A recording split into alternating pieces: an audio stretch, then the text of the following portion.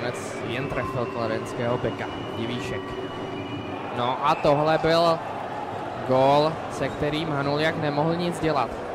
Kladenský brankář nic neviděl, Most vede 1-0. Střele, která skončila mimo Pincovu bránu. A teď Zikmund, dobrá šance, Ladislav Zikmund.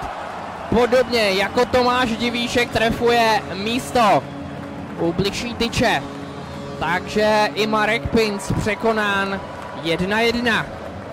Los. Tuma.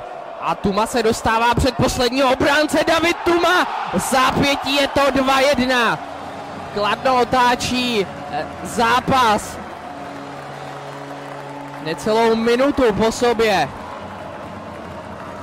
Říburger bude mít více prostoru a Jan Klos krásně trefuje horní roh. Pavučiny vyklepány, Kladno vede 3-1.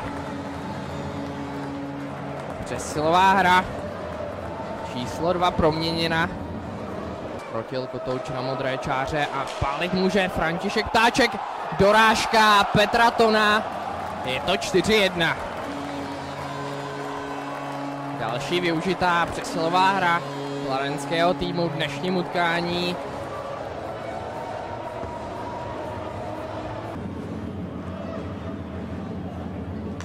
Rozočí ukazoval podražení, teď gol Vojtěcha Kubinčáka v přesilové hře.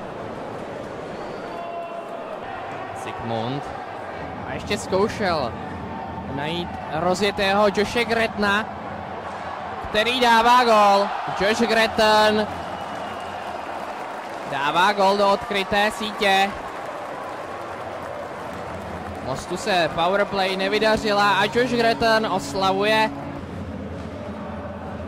Dobře našel Petrton, Petra tenkrát a ten ještě Patrikovi Machačovi, je to 6-2. Tak teď už je to Orchestrion Pavla Patery